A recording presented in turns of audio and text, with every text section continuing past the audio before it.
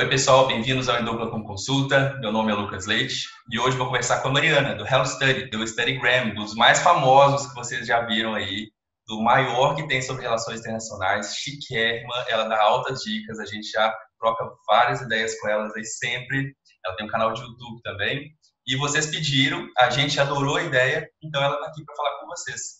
Espero que vocês gostem. Aproveita que você está aí, se inscreve no canal, ativa as notificações, deixa o seu like, o seu comentário. Segue a gente nas redes sociais. As minhas, as da Fer e as do canal que aparecem aí na descrição e também vão aparecer lá no finalzinho do vídeo. Bom, a gente tem também dois programas de financiamento coletivo que vocês conhecem, que são do PicPay e do Catarse. Se você gosta do nosso conteúdo, se você quer apoiar a formulação né, de conteúdo gratuito, de qualidade, de relações internacionais, a gente vai ficar muito feliz se você nos apoiar. Mas se não puder, compartilha todos os nossos vídeos com seus amigos, com sua família. Isso vai deixar a gente já muito feliz também. E agora eu vou pedir para Mariana então se apresentar para contar um pouquinho, né, de quem ela é. Primeiro, Mariana, muitíssimo obrigado por ter aceito o nosso convite. É um prazer enorme falar com você. Eu adoro seu conteúdo e eu acho que a maioria das pessoas também já te conhece, mas eu quero, por favor, te pedir para se apresentar novamente. Ai, obrigada pelo convite. Fiquei super honrada, muito feliz mesmo. E então, sou a Mari do Real Study. É, tenho um canal no YouTube, mas na verdade comecei com o Instagram, lá no Instagram, que também é Real Study o nome. E eu comecei a criar o conteúdo para RI como uma forma, primeiro, de me motivar, e segundo, como um jeito de tentar aumentar o alcance do curso. Porque quando eu entrei na faculdade, eu tô agora no. Não tem um período certo, mas eu tô acabando o curso de GRI na FRJ. E antes de eu entrar, eu não conhecia ninguém que já tivesse feito curso, eu não conhecia ninguém que já fosse formado, não fazia ideia, não tinha ninguém para bater um papo, sabe? Conversar. Então foi meio que um tiro no escuro, que assim, por sorte deu certo, mas poderia não ter dado certo. E aí eu fiquei, cara, quero ser essa pessoa para as Marianas vestibulandas do futuro possam ter alguém para perguntar, né, para tirar uma dúvida, para para ter um papo, ter uma noção de como é de verdade o curso, de como é que são as matérias e tudo mais. E aí cresceu bastante. Comecei a expandir, tanto para cursos online também. Eu no YouTube agora falo mais no canal sobre cursos online. E acho que está sendo um jeito legal de fazer minha parte, assim, na democratização do, do conhecimento. Olha, com certeza. Eu vejo o pessoal sempre agradecendo muito dos cursos online que você seleciona e é uma seleção muito boa mesmo. Eu vejo muito curso de qualidade estrangeiro, de universidade famosa, coisa aqui no Brasil também. Eu mesmo gosto de indicar aquela seleção que você faz sobre os cursos online. A gente não fez vídeo ainda sobre curso online porque até agora eu falei assim, eu não vou fazer, já tá, a Mariana já faz tudo, já tá ali prontinho e é ótimo. Não faz nem sentido eu fazer isso agora. Mas uh, eu acho que é legal, então conta pra gente que é um studygram, né? Como é que se faz um studygram? Como é que as pessoas que gostam da ideia podem começar? Porque eu vejo muitos studygrams e na minha época não tinha, meu Deus, contando a idade. Mas é realmente não tinha muito essa coisa, talvez tinha mais dos resumos bonitinhos, os mapas, os mapas mentais, os cadernos, que realmente já existiam, mas bonitos assim, né, organizados e que fazem muito sentido, ajuda muito a estudar uh, eu acho que é uma novidade. E aí, como é que é isso? O principal foco de ter um Instagram, de criar, é se motivar e motivar os outros, porque você mostra que você não está sozinho na hora de estudar, que assim, pode ser muito bonito e vai te ajudar muito se for bonito, se você fizer coloridinho e tudo mais, mas que ao mesmo tempo tem problemas que todo mundo enfrenta, e tem matérias que são insuportáveis, todo mundo acha insuportável, mas o importante é conseguir se ajudar para passar por isso junto, sabe? E nesse sentido, o ter o Instagram me ajudou demais, porque eu conheci muita gente que também faz o curso, que também está nessa jornada com a gente. E ai, tá sendo incrível, sério. Acho que super recomendo, é um jeito muito legal de se animar, sabe? Se você tiver um pouco, um pouco assim, na dúvida, meio desanimado com a matéria, com o conteúdo, com parar para estudar, você criar um Instagram acho que acaba te dando até, não sei, queria até uma rotinazinha, né? De tipo, ah, não, eu tenho que postar, então eu preciso fazer um resuminho para colocar ali. E aí você pode compartilhar tudo que quiser de conteúdo, pode tanto botar foto de resumo, como mapa mental, ou criar, de repente, até alguma coisa, uma imagem no campo, alguma coisa assim, diferente, mas que fale conteúdo. E, ah, eu adoro, eu adoro mesmo, sério. Eu comecei em 2018, se eu não me engano. Eu tinha trancado um período antes na faculdade, porque eu tava com depressão. E eu criei como, assim, um jeito de voltar no pique. E aí, depois disso, não parou. Foi que deu certo. Eu super recomendo, acho que é um jeito super válido de estudar também, né? Porque você tá ali estudando, você posta ali seu conteúdo. E também de conhecer novas pessoas, de motivar outras pessoas também. É um jeito bem interessante de fazer isso.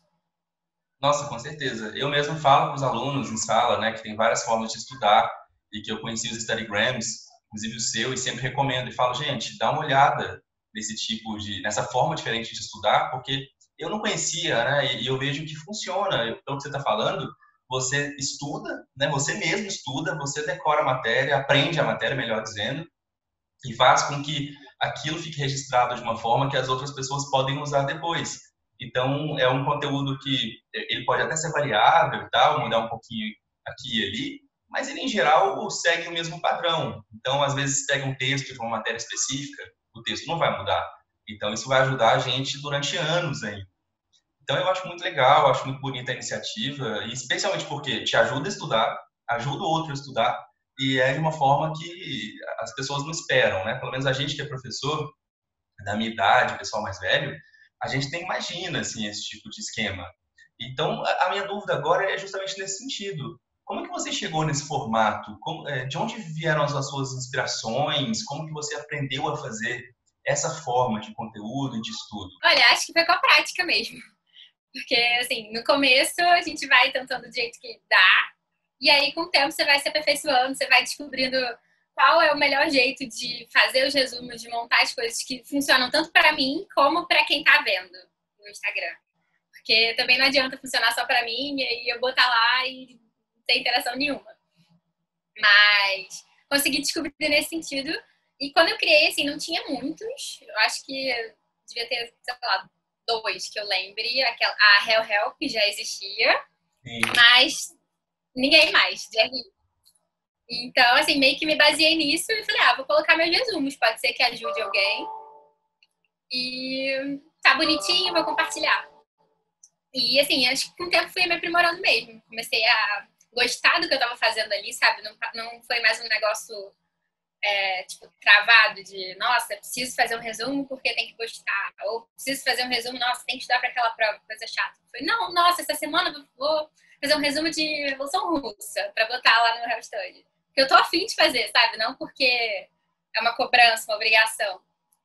E acho que então é com a prática mesmo, é você fazendo que você aprende a fazer. Ah, legal. É, inclusive, a gente gosta muito do trabalho do Hell Help Internacional também. Vamos indicar aqui novamente. É um dos canais que nos inspirou no começo, então a gente gosta muito de lembrar. Ainda, ainda nos inspira, na verdade, todos vocês. A gente gosta muito do conteúdo que vocês fazem de relações internacionais. Né? Desbravaram a área a gente, como professor, está chegando agora, vocês já estão aqui há mais tempo, então vocês são os donos da casa, a gente está só chegando. e, bom, nesse aspecto, então, eu vi que você né, foi para o YouTube também, você expandiu com a questão dos cursos online. Como é que foi esse processo de, de ganhar essa proporção, ficar desse tamanho? Como é que é a cobrança? Como que você faz para divulgar tudo, para criar o conteúdo? Eu acho que muita gente fica se perguntando, né? Ah, será que é difícil? Eu vou aprender sozinho? Não vou, vou precisar de um editor, vai ter curso online sobre essas coisas, eu posso fazer com alguém.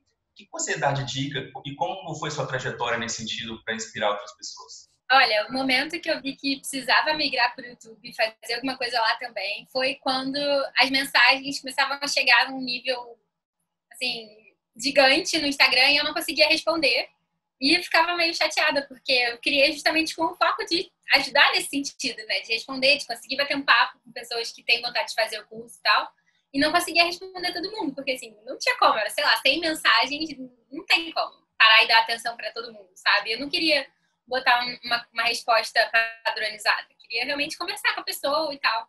Então eu falei, ah, vou criar um vídeo no YouTube falando por que, que eu escolhi RI. Foi o primeiro vídeo e era a pergunta assim mais feita tipo, disparado, era por que, eu escolhi a Rio, os motivos e tudo mais. Daí, as pessoas começaram a gostar e eu comecei a fazer mais vídeos. Só que, como vocês dá, dá pra perceber lá no meu canal, geralmente o espaçamento entre os vídeos é um pouco grande, porque assim, agora eu tô aprendendo e tudo mais, mas faço tudo sozinha. Então, dá um trabalhinho, mas super dá para aprender sozinha, editar, fazer pelo celular mesmo. Depois é que eu comecei agora a usar programa de edição no computador, mas fazia do jeito que, assim, importante para mim era passar o conteúdo ali. A forma no começo não era tão importante, mas agora já estou conseguindo prestar mais atenção na forma. Assim, acho que o importante é você conseguir passar o que você tem ali. Então, no começo, era com a luz da janela mesmo, que é essa agora que está aqui, inclusive, só luz da janela. Agora já tem iluminação para poder gravar de noite e tudo mais. Mas acho que o principal foi estabelecer um dia específico para fazer as coisas do Hell Studio.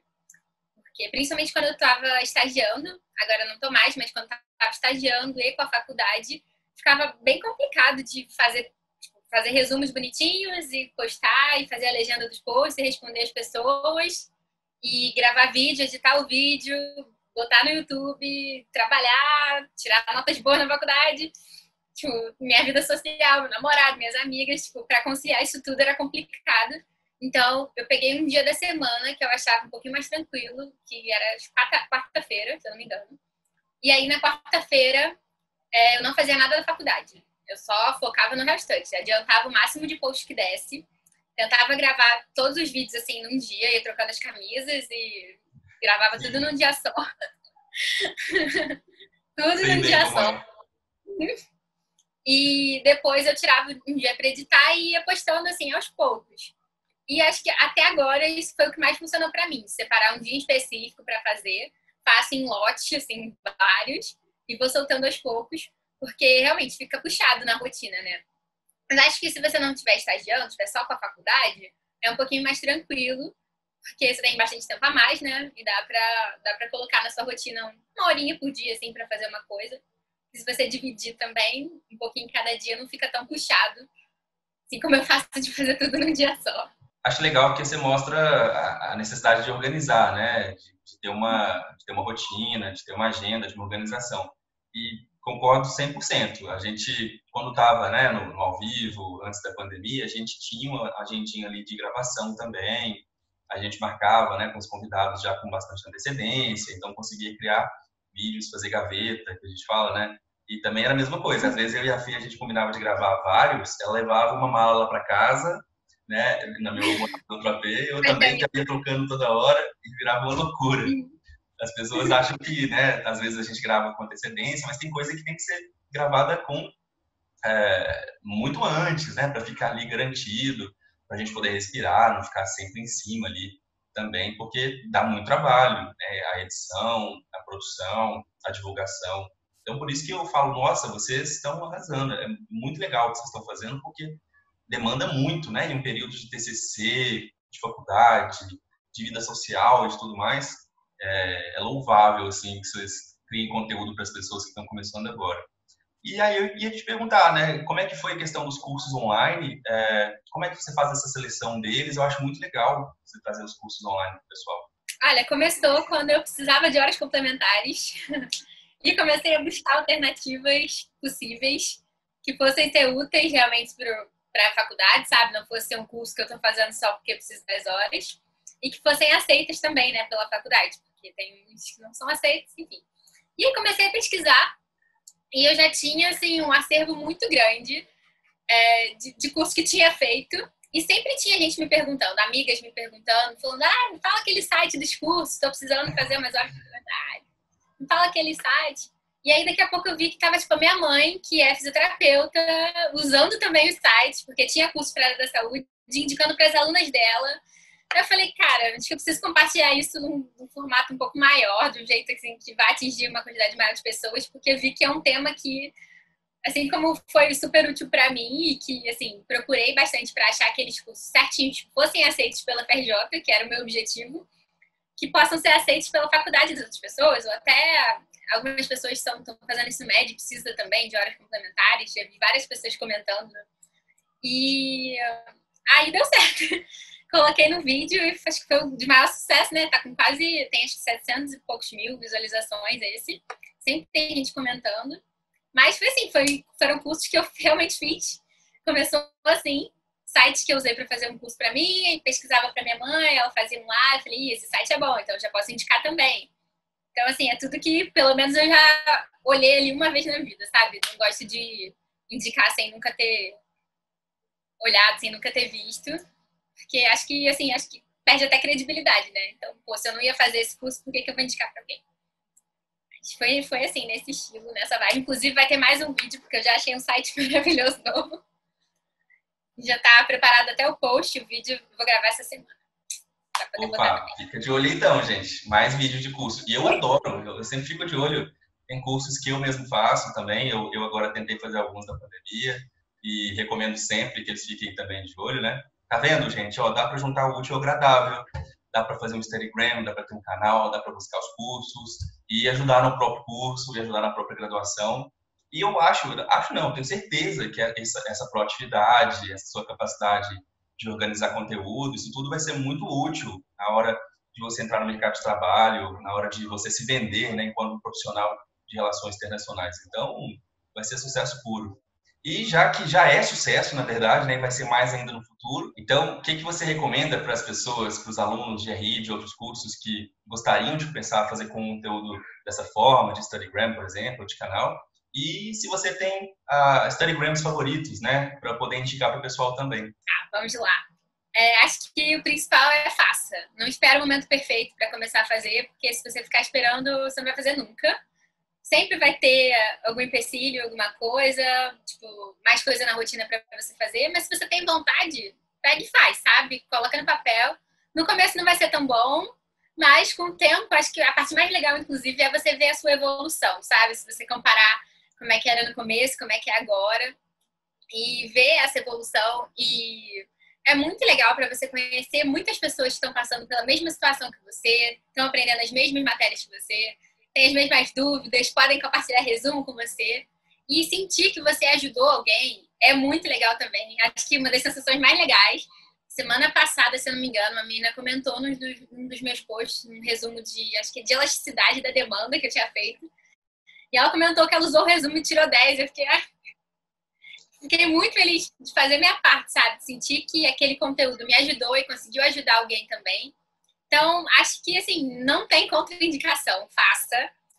Vai tirar um pouquinho do seu tempo? Isso vai. Assim, mas acho que qualquer coisa na vida, se você for colocar um pouquinho de determinação, um pouquinho de atenção e se propor fazer aquilo, vai tirar um pouco do seu tempo. Mas vai ser um tempo que vai ser muito bem recompensado com a gratidão, sabe? Que você vai sentir depois, quando começar. É...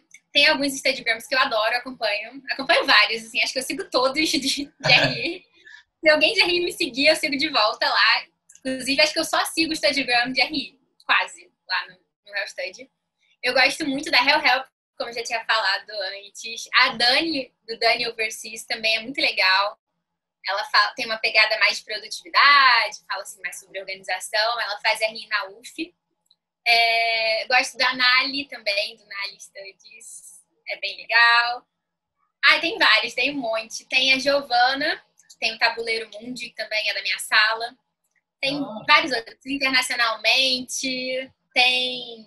Hum, para lembrar agora o nome de todos vai ficar complicado mesmo. Tem alguns também que tem um foco maior em passar notícias, mas tipo, tipo Diário das Nações, o WikiRI eles passam as notícias, tipo, então são alunos contando para alunos como é que aquilo ali vai estar tá afetando o mundo, como é que aquilo ali é, pode se encaixar nas disciplinas que a gente aprende na faculdade e tudo mais. Eu acho muito legal também, é super válido seguir. Acho que é isso. Não tô lembrado. Queria muito, inclusive, lembrar o nome de todos, mas são muitos. Falei de alguns agora que eu lembro. Eu lembro o nome das pessoas, mas eu não lembro o usuário do Instagram agora. A gente tem várias que conversam, legais. Vale um post, inclusive, ó, fazendo uma série, né? Com vários posts ao longo do tempo falando, né? Tipo, 10 indicações, depois mais 10 indicações, depois mais 10 indicações. Eu apoio pra ah, gente aprender. Ótima ideia. Pra gente poder não aumentar nossa rede, saber quem são, a gente se seguir, se apoiar. É assim que a gente acho que vai crescendo junto. Gostei, ó. Podemos fazer junto. Gostei, adorei, adorei. Podemos mesmo. Já tá marcado aqui. Fechou. Eu tinha feito um atrás de uma rede de RI, assim, que eu desenhei até um mapa mundi, coloquei os, os studygrams que eu conhecia. Mas já tem muitos outros novos, né? Então, acho que super, super válido fazer isso, de, de colocar, assim, realmente, tipo, 10 por vez. É muito legal, porque a gente conhece pessoas novas também, a gente descobre pessoas que estão fazendo conteúdo de um jeito muito maneiro e consegue compartilhar com outras pessoas também. Acho super válido. É, e se você tem um Instagram e a gente não falou aqui, não é porque a gente não lembrou, é porque tem muitos e a gente no meio da gravação esquece mesmo. Então, bota aí nos comentários, fala e marca a gente mesmo. Pode falar que você tem um Instagram, a gente vai ter o maior prazer de seguir vocês aí, de apoiar e de nos próximos, ou em posts no feed mesmo, a gente tem com essa ideia aí que eu gostei, da gente fazer, né, de tempos em tempos a fazer, mostrar a cada 10 Instagrams, por exemplo. Então, eu acho uma ideia legal da gente aumentar a nossa rede e se compartilhar. Eu lembrei de mais algum, agora. Estou aqui pensando no nome das pessoas, tentando lembrar o nome do, do usuário. Mas tem um que é Por Amor RI, Foco, em, Foco Por RI, também, se eu não me engano. Ah, tem, tem muitos, tem muitos, tem vários. São pessoas muito bacanas, acho que super válido. Ah, eu adoro quando a gente vai em evento ou coisa assim, alguém chega e fala, ah, eu sou do tal Instagram, eu sou de tal site. A gente fala, ah, você, legal, o conteúdo é muito bom. A gente fica super feliz. Eu e a Fernanda, a gente adora quando ver gente que, que conhece a gente, que está fazendo conteúdo também. Nossa, a gente fica muito, muito feliz, porque acho que o caminho é esse, para a gente combater fake news, para a gente diversificar a nossa atuação e fazer com que a RI seja realmente conhecida no mundo inteiro, mas principalmente aqui no Brasil, né? Para que a nossa marca seja valorizada e reconhecida. Sim, acho que isso é o principal, fazer o curso crescer, assim, ampliar a quantidade de pessoas que conhecem e sabem o que, que é, né? Porque é, acho que falta justamente isso de assim, saber do curso, mas não saber assim, só a ah, RI existe, mas saber o que a RI faz, o que, é que a gente estuda, quais são as possibilidades de atuação, que, qual é o perfil do, da pessoa que entra para estudar para RI, sabe? Todas essas informações que são muito importantes, assim, não somente para quem já está na faculdade, mas para quem tem interesse, está perdido no ensino médio, tipo, vai ter que escolher entre uma das matérias que gosta, sem saber que pode, de repente, entrar em RI e juntar isso tudo numa coisa só acho que é bem legal e os rooms têm feito um papel muito, muito, muito importante nesse sentido de ajudar não somente quem já está na faculdade, mas também quem está super perdidão querendo entrar para poder bater um papo, tirar dúvidas e fazer o curso crescer, né? Ser visto. Pessoal, então conversei aqui com a Mariana, gente boníssima, que tem o canal e o Studygram do Health Study. Eu sugiro muito que vocês vão lá, procurem o conteúdo dela, compartilhem mandem para os seus colegas de faculdade, para todos os seus colegas, para todo mundo que faz faculdade, na verdade, né? Porque é uma forma muito legal de aprender conteúdo e de estruturar e organizar o conteúdo. Então, Mariana, obrigado novamente, foi um prazer enorme. É, peço que você de novo fale, né, dê a, as coordenadas aí das redes sociais, do canal e do Instagram, mas, claro, Vai estar aparecendo aqui embaixo também para quem quiser, na descrição, todos os links, tá? E, por favor, visitem e vamos criar essa grande rede de relações internacionais. Mariana, muitíssimo obrigado. Ai, muito obrigada a vocês pelo convite. Fiquei super honrada, me senti muito, muito, muito feliz em estar aparecendo aqui, de verdade. Acho super incrível essa conexão entre alunos e professores e os frutos que isso pode gerar. E muito obrigada a você que assistiu, espero que tenha gostado. Não se esquece já de deixar o joinha no vídeo também, né? De seguir o hashtag lá no Insta, no, aqui no YouTube também se inscrever. E espero que a gente possa continuar aí com essa parceria de vídeos e de repente de posts para criar mais conteúdo interessante aí para vocês também. É isso aí. Valeu, pessoal. Espero que vocês tenham gostado. Curtam o vídeo aqui e lá no Study. Compartilhem, sigam a gente, comentem bastante e segue a gente em todas as redes sociais, tá certo? Valeu, pessoal. Até a próxima. Tchau, tchau.